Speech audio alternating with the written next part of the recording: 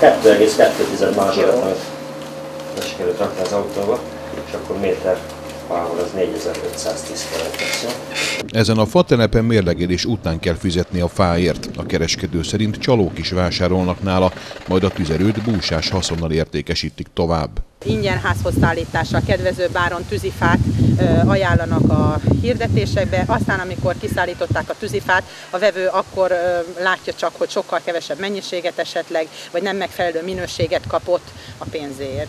Nagyné Hadarics Ágnes szerint a vásárlók csak akkor lehetnek biztosak abban, hogy nem verik át őket, ha ellenőrzött körülmények között fizetnek a fáért. Segítünk a vevőnek a megfelelő fa kiválasztásában, úgy minőségileg esetleg tájékoztatjuk a, a fa hamutartalmáról, szárazanyag tartalmáról, fűtőértékéről, hogy mindenki a számára megfelelő tűzifát vásárolhassa. Digitális mérleggel mérünk, az autót befele és kifele is megmérjük, és a kettő különbségét kell fizetni, ami a fasúja. A Györmoson Sopron megyei rendőrfőkapitányság több nyomozást is folytat a visszatérő csalások miatt.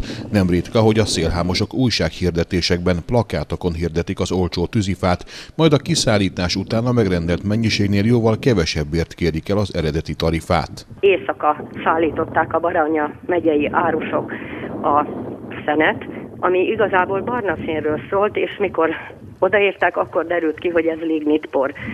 Azonnal értesítette a rendőrséget, a megrendelt árut nem vette át.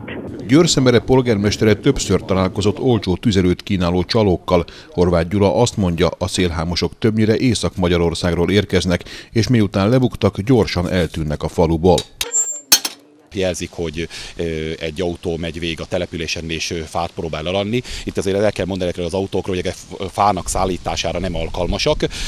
Későbbi ígéretre, hogy vinnék a fát, és gondolom pénzt kérnének előre el a lakosoktól. Ekkor én kiszállok a helyszínre, nem mindig áll a helyi körzet is rendelkezésünkre, ezért kénytelen vagyok én intézkedni, és figyelmeztetem a, a illető szemét, hogy azonnal hagyja el a települést. Két év után idén szeptemberben emelkedett a tűzifa ára, amíg a cser, a tölgy, a bükk és a gyertyán mázsánkénti ára 2050, addig az akácé 2500 forint.